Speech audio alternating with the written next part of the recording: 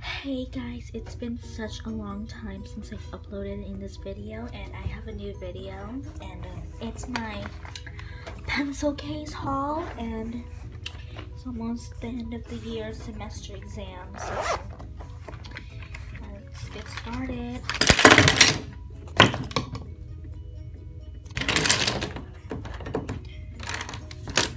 So the first one we have here is um is my honor student thing and uh, I can't show my school because privacy reasons.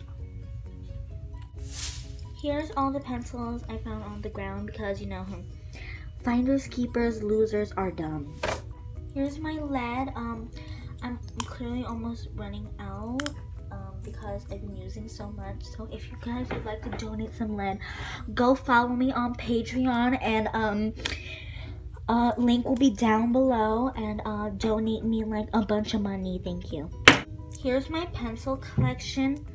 This one's broken, so it's useless. Um, this one's also. Oh wait, no, not this one. This blue one's also broken. So this one's the only pencil that works.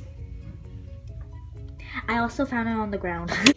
Here's my Sharpie collection. I don't have the orange one because I don't like the color orange. Here's my tuner I use for orchestra. It works to tune my instrument, you know, like. Also, if you're in band, switch to orchestra next year. Thank you. Here's a piece of paper my friend gave me. It's actually her Roblox username. Um, it says here, hello peeps Isis. Oh, I mean 15 and um no spaces. So if you guys want to friend her, go friend her.